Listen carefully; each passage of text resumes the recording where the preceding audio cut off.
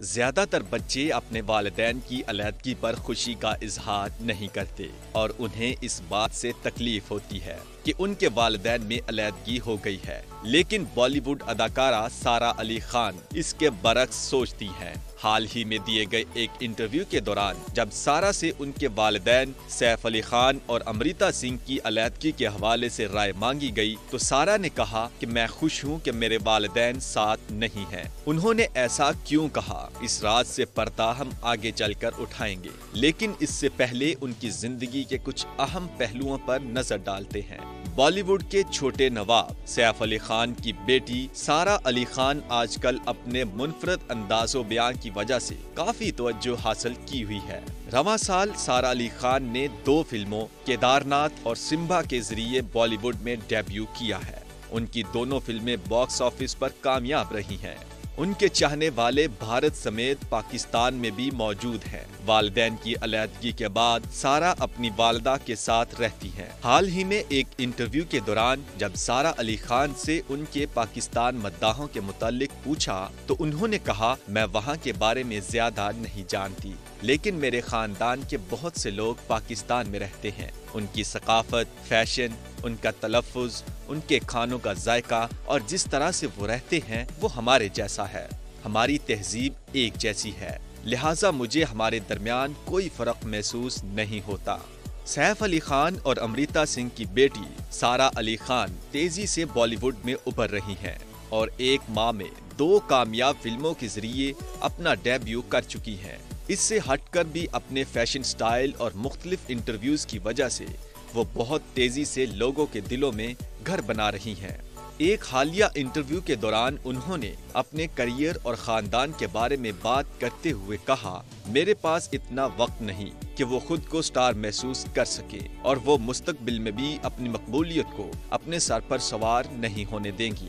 ان کا کہنا تھا، میں بس کام کے بوجھ سے نمٹنے کی کوشش کر رہی ہوں اور میرے پاس اتنا وقت نہیں کہ خود کو سٹار سمجھ سکوں۔ کرن جوہر کے شو کافی ود کرن میں، ان کے رویے نے متعدد افراد کو حیران کیا اور اس بارے میں ان کا کہنا تھا، میرے خیال میں یہ سچ ہونے کی وجہ سے تھا اور میں ایسی ہی ہوں۔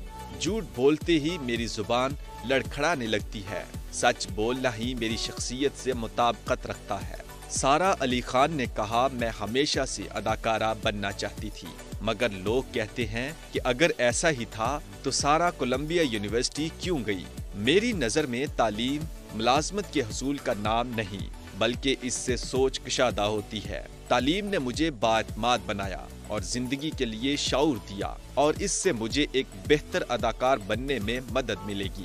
سارا علی خان کی پرورش ان کی ماں امریتا سنگھ نے کی اور والد سیف علی خان اتنا زیادہ وقت نہیں پائے گئے۔ مگر کیا اس سے انہیں کسی قسم کے مسائل کا سامنا ہوا؟ اس پر انہوں نے بتایا کہ میری ماں نے کچھ نہیں کیا، بس میری اور میرے بھائی کی پرورش کی۔ ان کی شادی کے متعلق سوال پر ان کا کہنا تھا، اگر انہیں موقع ملے اور ان سے اپنی مرضی پوچھی جائے تو وہ رنبیر کپور سے شادی کرنا چاہیں گی۔ انہوں نے اپنی ایک منفرد خواہش کا اظہار کرتے ہوئے کہا کہ اگرچہ وہ رنبیر کی دلہن بننا پسند کریں گی، تاہم وہ گہری دوستی اور تعلقات نئے اداکار کارتک آریان سے استوار کریں گی۔ انہوں نے اپنے والد کی دوسری شادی اور سوتیلی والدہ کرینہ کپور کے معاملے پر بھی کھل کر بات کی۔ انہوں نے بتایا کہ والد کی دوسری شادی پر والدہ امریتا سنگھ نے ہی ان کا لباس تیار کیا۔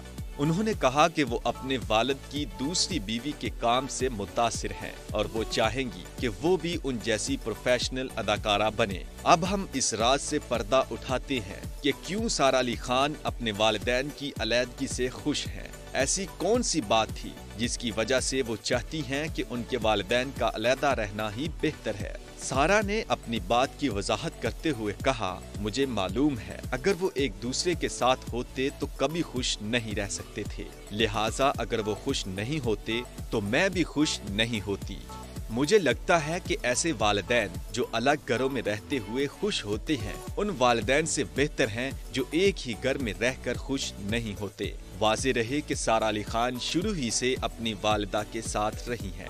اس بارے میں بات کرتے ہوئے انہوں نے کہا کہ میری والدہ نے بچپن ہی سے میری اور میرے بھائی کی دیکھ بھال کی ہے۔